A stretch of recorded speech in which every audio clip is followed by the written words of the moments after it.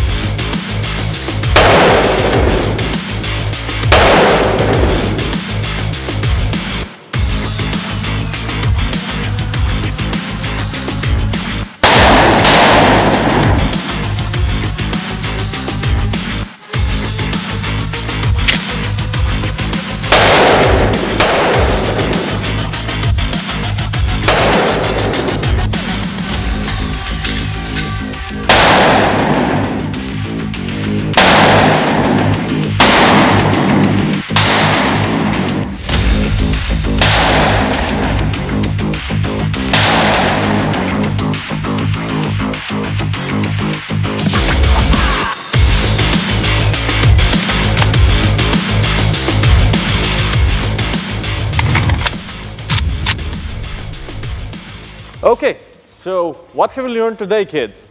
Well, first, you definitely don't want to be on the receiving end of the Desert Eagle because it's scary enough just to try to shoot with it. I cannot imagine what happens if you stand in front of it.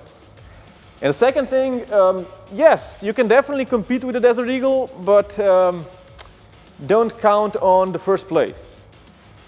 Though you will be the coolest dude at the competition.